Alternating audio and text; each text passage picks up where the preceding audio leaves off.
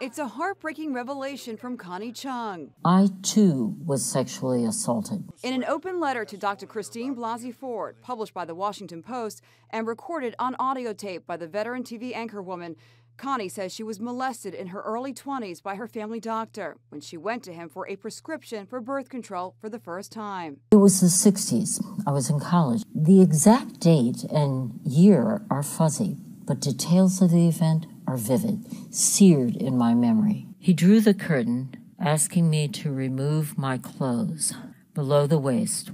What she says happened next is too graphic for television. I don't remember saying anything. I couldn't even look at him. I quickly got dressed and drove home.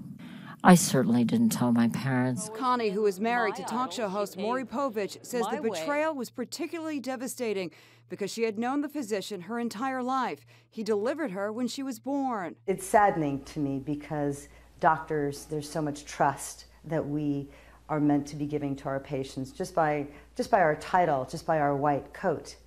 But the truth is, sexual predators even wear white coats. Connie Chung went on to have a hugely successful TV career, becoming the first woman to co anchor the CBS Evening News in 1993. Now 72, she says she decided to speak out after Dr. Christine Blasey Ford was mocked by the president for not remembering more details of what happened to her. How did you get home? I don't remember. How'd you get there? I don't remember. Where is the place? I don't remember. How many years ago was it? I don't know. I'm writing to you, Christine, because I know that exact dates, exact years are insignificant. We remember exactly what happened to us and who did it to us.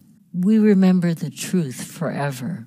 Ellen DeGeneres is also coming forward to say Me Too. She says she was abused when she was 15 and can relate to Dr. Ford. I am furious at, at people who don't believe it and who say, How do you not remember exactly what day it was or what, you know, you don't remember those things. And yet another TV personality is speaking out. The Talks co host Eve revealed that she just told her mom that she was abused as a child. But it felt like a weight was lifted, and so we have to say something. You have to let it out.